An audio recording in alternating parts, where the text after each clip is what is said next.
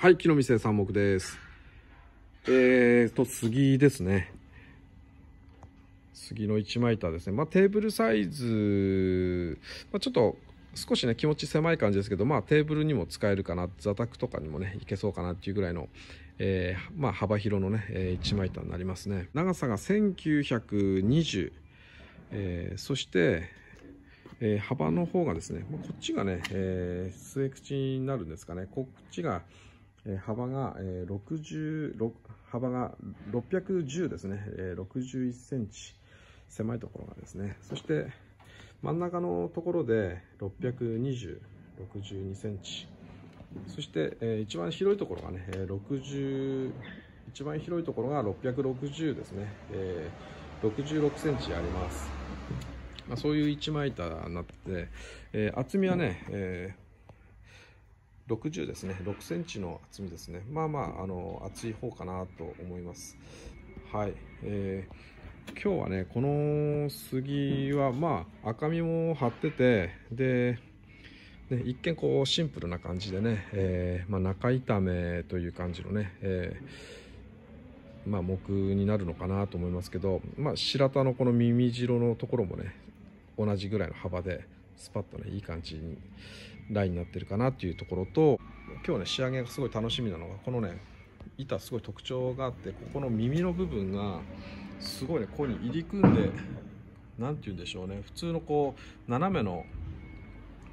えー耳じゃなくてですねなんかこうぐーっとね中にこうくぼんだ感じの耳になってるんですね。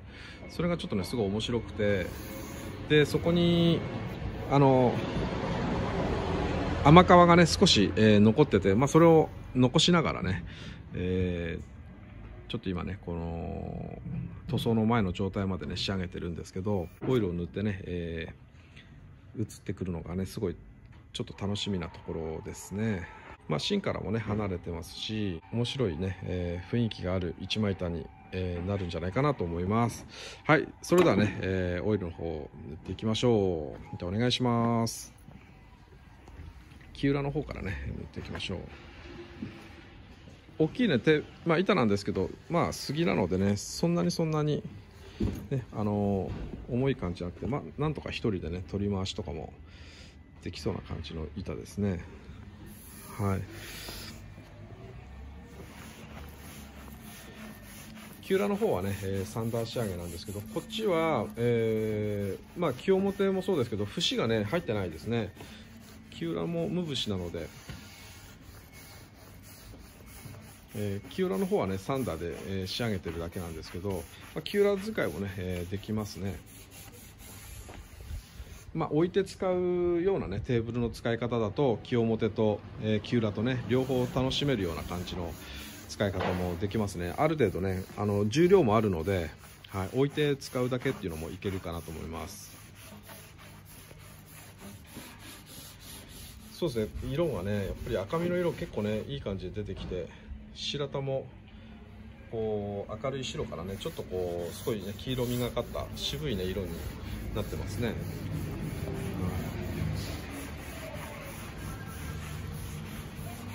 今ねこの木裏のね仕上がりがこういう風な感じでまたそこでねあの反対にして清表のえー仕上げてみてね、えーどれぐらいこう違った感じなのかもね。対比としてはすごい面白いかなと思います。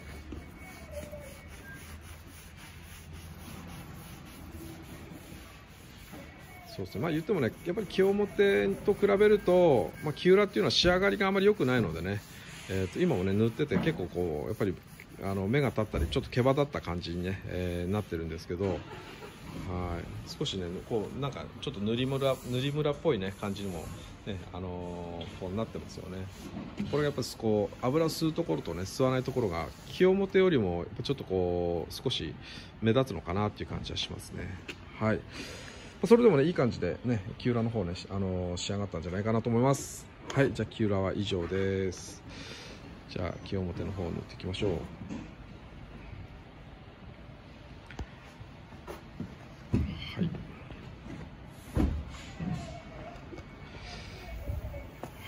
清表の方ですね。またちょっとね印象が違って見えるんじゃないかなと思います。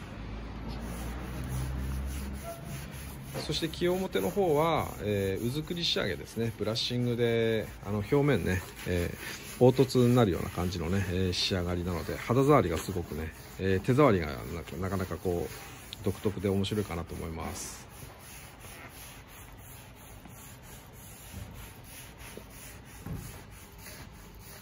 あ清表の時と比べるとこの赤身のところのこの島がまた面白いですね。あの木も、ね、板目の真ん中も板目のね真ん中の木も面白いしこの全体のこの赤身の部分の正目のねこの島がこのね、えー、グラデーションが面白いですね。これがすごくねあのちょっと雰囲気出ていいんじゃないですかね。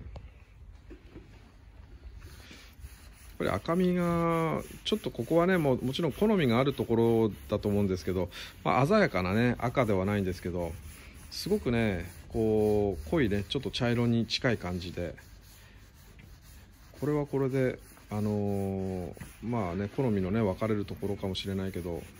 好きな人は好きなんじゃないかなと思いますね。自分的にもねすごくこれは面白いですね。この特にこの島のね、出てるところとこの色がね淡くなったところの感じはやっぱ本当に今塗ってみないとねちょっと分からなかったところですね。今塗って、ね、こういう風な色の出、ね、方が見えてねすごいいいなという風な感じになってますね。はい。面白いですね。こっちからもね見てこんな感じですね。はい。こっちからだと向こうよりはね、もう少しなんかこう少しあの穏やかな感じには見えますけどね。それでも、そうですね、やっぱりある程度こう島な感じにはね、なってますけど、やっぱりこっち側と向こう側とで、またちょっとね、光の加減で、あのこう映り方がね、ちょっと違って見えますね。まそこも含めてね、面白いですね。はい。今、まちょっとカメラとね、あの光の差なのかもしれないですけど、こっちはね、ぐっとこう濃くね、あの全然雰囲気がね違って見えますよね、はい、そうですね。小口の方もねすごく。で小口なんかもちょっとここは結構ねあの木のシミがこう残ってるところですけどこれはこれでまたなんか面白いね小口ですね。面白い感じになってます。はい。でこっちは耳の方はそうですね。比較的、えー、こちら側はね、えー、あの皮をね剥いだだけの状態であまりね削り込みとかね、えー、しなくてねえー、綺麗な状態で耳が残ってるかなと思います。この色の濃いところはあの甘皮の部分をねちょっと残してね、えー、仕上げてます。くぼんだところもね甘皮を残してそこがねちょっとこう色が乗って面白く、ね、なってる感じしますね。はい。じゃあこっちのね今度耳の方ね。はい、こっちはねやっぱりかなり入り組んでて、あのー、仕上げるのがね結構こう大変だったので削り込みをねやっぱりやっていかないとならなかったんで木がね少し出るような感じにはなっちゃったんですけど、はい、それでも今ねこういう風に塗ると、あのー、甘皮の部分がね少しこう色がね濃いところが出てて。面白いですね。その色の濃いところとねこの赤みの色がすごいねあの同じ感じでそれがねなんかこうあの統一感があってね飛び飛びになってて面白いかなと思います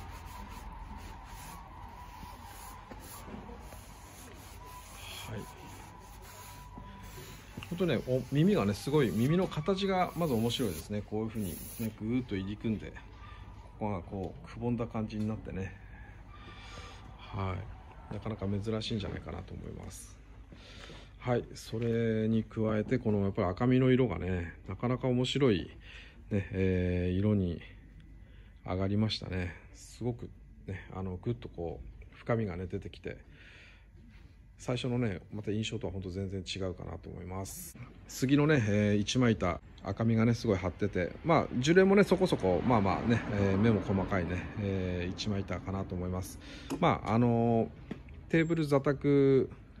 いいかなと思いますね。あのそういう風な使い方でねまあ、テーブルとかには向いてるかなと思います。置くだけでもねいいかなと思うし、まあ、表と、えー、木裏と、まあ、だいぶね印象が違って見えるのででどちらも節がない、えー、板になってたんですけど、まあ、表と裏ともまた印象が違うので、